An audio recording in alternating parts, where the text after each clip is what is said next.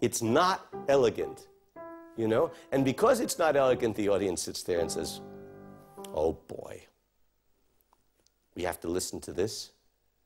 And the audience, therefore, sits back and stops thinking and slightly goes to sleep. Boy, this is not interesting music.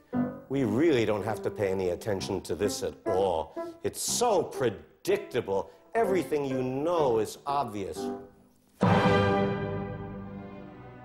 And then half of the audience probably had a heart attack. That's the Paukenschlag.